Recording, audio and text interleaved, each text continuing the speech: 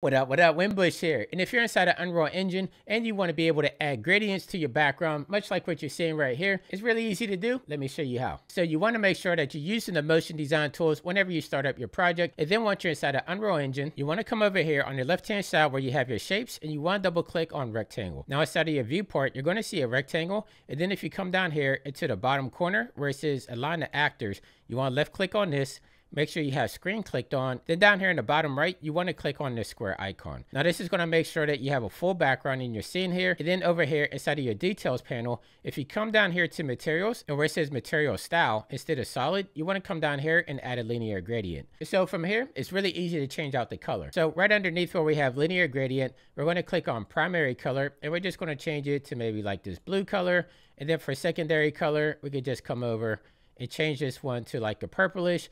And now right here where it says gradient offset, if we start moving this, you can see how we can offset it within our viewport. And the nice thing about this feature, you can control this all in real time. So if I'm down here, let's say I want to change out this primary color to like a green background, this is still plain, and we're able to change it out. And then down here where it says rotation, we can rotate our gradient as well. So you can just come down here and play around with the attributes until you find something that you like. So if you want more tutorials like this, make sure you go to my profile where I have a ton of quick tips and also shout out to EJ for the inspiration on this. And also shout out to Fresh Brownie who did the motion capture for this.